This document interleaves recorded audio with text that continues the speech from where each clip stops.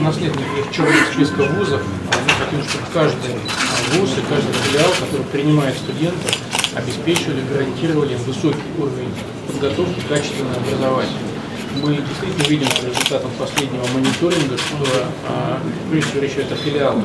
Некоторые филиалы а, не готовы сегодня предлагать а, именно эти условия для своих будущих студентов. Поэтому мы рекомендовали действительно нескольким десяткам вузов, у которых есть такие филиалы, в этом году не проводить прием.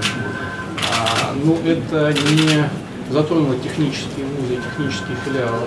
Это затронуло только непрофильные специальности в этих технических филиалах и те филиалы, которые ведут подготовку по экономическим, гуманитарным и так далее направлениям. И все эти позиции, без исключения, они согласованы с соответствующими регионами. То есть мы не э, делали такие рекомендации в том случае, если позиция региона состояла в том, что в этом году обязательно нужен прием. Таким образом, все эти решения, они, естественно, будут реализованы, доведены до конца, но они не пойдут в ущерб э, абитуриентам. Это для нас самое важное. Я, я во всяком случае, пока не получал информацию, что есть какие-то проблемы по приему. И действительно крайне важная для нас э, задача создать у нас конкурентоспособную систему подготовки учителей педагогов, потому что новые требования, в которых работают учителя, накладывают и очень высокие ожидания по отношению к ним со стороны учеников и со стороны родителей. Нам очень важно, чтобы не просто в школы приходили молодые, но чтобы приходили хорошо подготовленные учителя, чтобы они были готовы к работе в новых условиях. Поэтому сейчас поэтапно будет происходить модернизация системы педагогического образования, в том числе, естественно, и в Татарстане. Мы вот видели много интересных предложений, как сделать, чтобы дошкольное образование было доступно и интересно. Второе, это же сама школа. Вы знаете, что и все современные технологии, которые есть, особенно э, облачные технологии, которые позволяют э, получить любую информацию, любую книгу. Мы ее используем.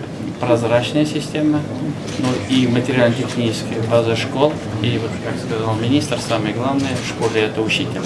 Профессиональный уровень учителя – это вот залог того, что мы будем э, получать конкурентных конкурентных на будущее и студентов, и специалистов. Следующее – это высшая школа. Высшая школа это, конечно же, наш федеральный университет, два исследовательских университета, ну и другие. То есть они должны соответствовать неким тем а, требованиям, которые есть не только для России, а они должны попасть в, в мировой рейтинг. Э, для федерального университета это, э, этот шанс очень близок, нам надо работать в этом направлении. Ну и самое главное, рабочие специальности. Это ресурсные центры, 25 ресурсных центров, которые мы с нашими предприятиями будем формировать. Пять центров уже мы в этом году создаем. Вот это залог нашей конкурентности, залог того, что вот система образования – это наша конкурентность, мы это понимаем. И полномочия республики и полномочия федерального центра, они комплексно будут реализованы.